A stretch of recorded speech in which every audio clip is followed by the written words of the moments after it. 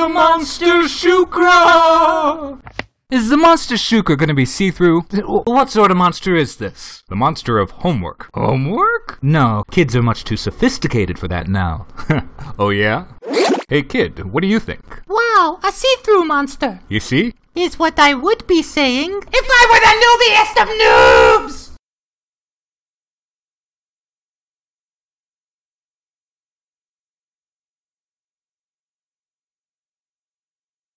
Take me back to my own time. You mean back to three years ago?